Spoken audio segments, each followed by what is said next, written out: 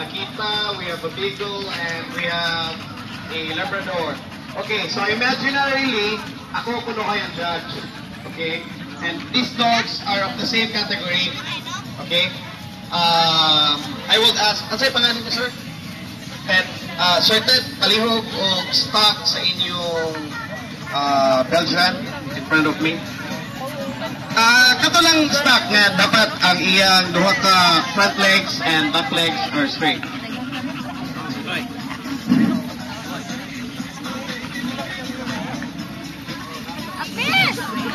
Okay.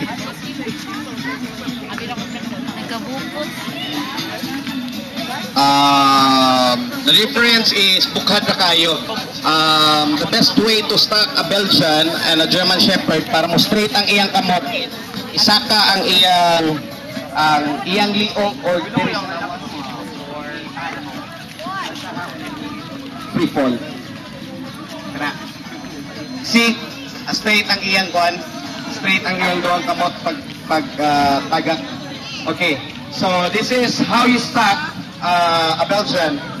So tip is uh, kung maglisod mo stock ang atubangan, inyong isaka ano, inyong isaka ang dughan o diri sa may liog.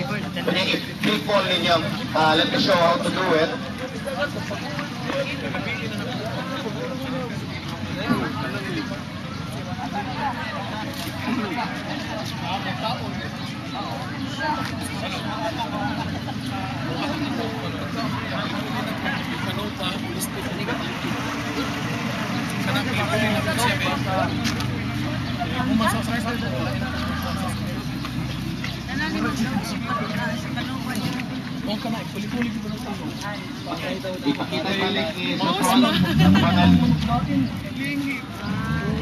Alright.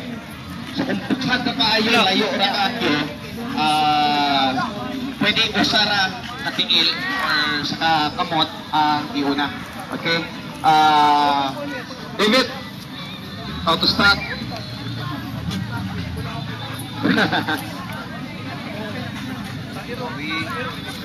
Alright.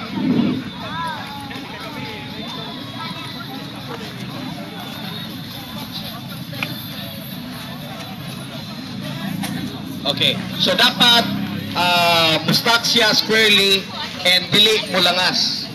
Ah, kay kung mulangas, mas langas, mas lisod i-judge.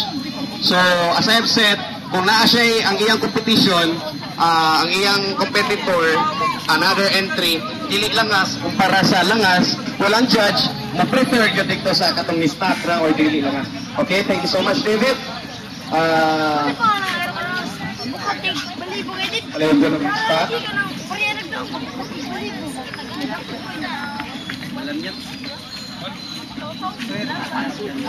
Alright, so it should avoid uh, kani ang puppy is showing, biting, uh, biting a duwa actually since this is a puppy.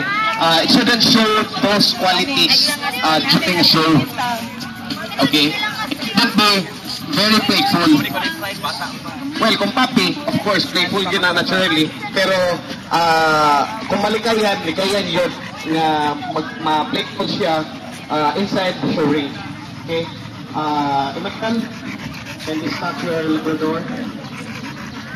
Ladies and gentlemen, this is a black Labrador, female black Labrador.